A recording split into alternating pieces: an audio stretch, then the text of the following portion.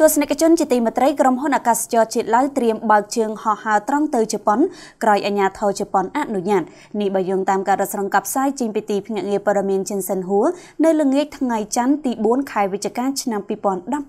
2019 ក្រុមហ៊ុនអាកាសចរជាតិឡាវឡាវ Airlines មានកម្រងបើកជើងហោះហើរត្រង់ចេញពីរដ្ឋធានីវៀងច័ន្ទនិងពីទីក្រុងលួងប្រាបាងឆ្ពោះទៅកាន់ខេត្តគូម៉ាម៉ូតូលើកោះខ្យូស៊ុប្រទេសជប៉ុននាខែមីនាឆ្នាំ2020បន្ទាប់ពីទទួលបានការអនុញ្ញាតពីការិយាល័យអាកាសចរស៊ីវិលជប៉ុននេះបើតាមការដកស្រង់កាប់ផ្សាយចេញពីទីភ្នាក់ងារព័ត៌មានសិនហួរនៅល្ងាចថ្ងៃច័ន្ទទី4ខែវិច្ឆិកាឆ្នាំ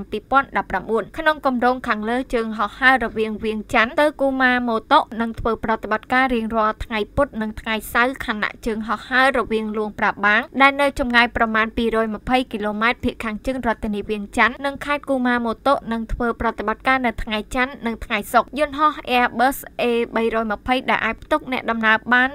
142នាក់នឹងត្រូវប្រើប្រាស់សម្រាប់ជើងហោះហើរទាំងពីរផ្លូវហើយផ្លូវហោះហើរថ្មីៗនឹងប្រកាសឲ្យដឹងជាបន្តបន្ទាប់តាមក្រោយទៀតដោយអាកាសចរឡាវឬឡាវ Airline គួរជំរាបថាយោងតាមរបាយការណ៍នាយកដ្ឋានអភិវឌ្ឍទេសចរនៃក្រសួងទេសចរឡាវភ្ញៀវទេសចរជប៉ុនមកកាន់ប្រទេសអាស៊ានមួយនេះនៅឆ្នាំ2015មានចំនួន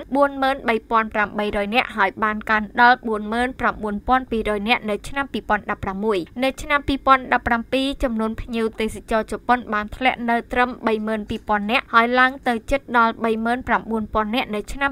2018ក្រុមហ៊ុនអាកាសចរឡាវ Airlines សង្ឃឹមថាការបើកជើងហោះហើរថ្មីទាំងពីរនេះនឹងអាចជួយសម្រេចគោលដៅប្រទេសឡាវដើម្បីក្លាយជាមជ្ឈមណ្ឌលធ្វើដំណើរមួយប្រចាំនៅតំបន់ឥណ្ឌូចិនហើយជំរុញឲ្យទេសចរជប៉ុនកាន់តែមានចំណាប់អារម្មណ៍ចង់មកដើរកម្សាន្តនៅឡាវ